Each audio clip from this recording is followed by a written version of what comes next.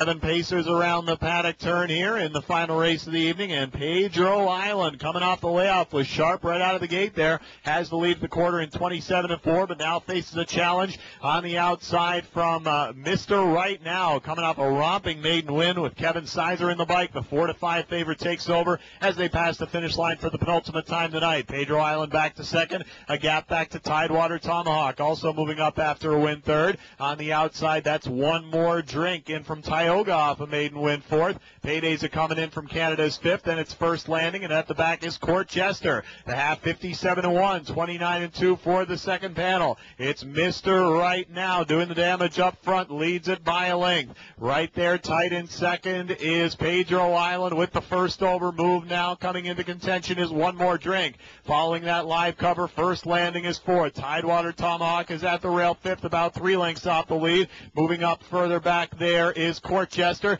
and at the back of the pack, but only about five lengths away is Paydays a coming.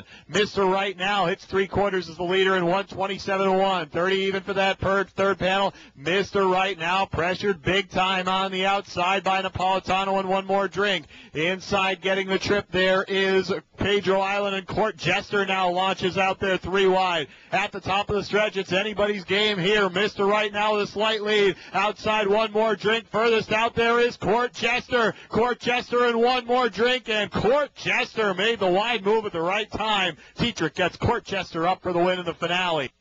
And the Tim Tetrick will pick up a four-bagger this evening on Tuesday night. 37th win on the season as the four-horse, I should say the eight-horse will beat the four. Court Jester will beat that four, and Anthony Napolitano to the wire.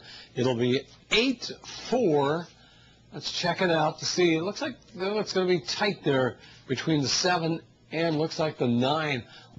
Ladies and gentlemen, judges have posted the unofficial order finished for tonight's 15th and final race. Number 8, Court Jester finished first. Number 4, One More Drink was second. Number 9, Pedro Island finished third. Number 7, First Landing finished fourth. Unofficially 8, 4, 9, 7 in the 15th and final. And moving into the winner's circle at this time, the unofficial make that the official winner of tonight's 15th race. The 8, Court Jester, a three-year-old bay gelding by Cam's Card Shark out of Yield of the Princess by Jate Lobell,